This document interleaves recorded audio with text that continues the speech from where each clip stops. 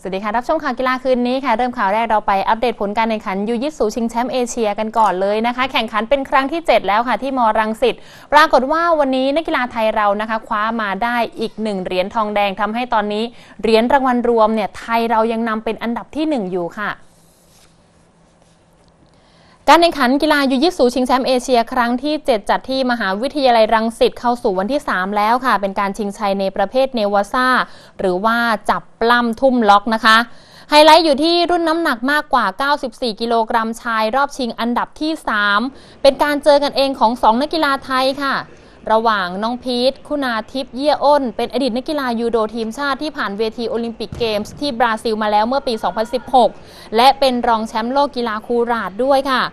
พบกับนวพล กอการุณพงศ์รุ่นน้องทีมชาติไทย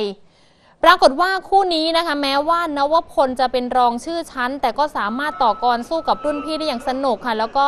ทำได้ดีกว่าชัดเจน เอาชนะคะแนนไปได้ขาดลอย คว้าเหรียญทองแดงเพิ่มให้กับไทยนะคะ ก็ต้องบอกว่าคู่นี้ไม่ว่าใครชนะก็การันตีเหรียญทองแดงให้กับทีมชาติไทยค่ะ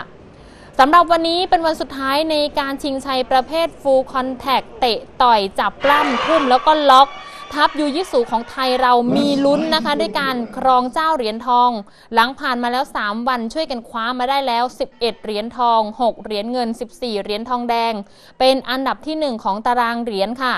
ส่วนอันดับ 2 เป็นสหรัฐอาหรับเอมิเรตทำได้แล้ว 7 เหรียญทอง 5 เหรียญเงิน 4 เหรียญทองแดง และคาซัคสถานตามมาเป็นอันดับ 3 ที่ 4 เหรียญทอง 7 เหรียญเงินและ 14 เหรียญทองแดงค่ะ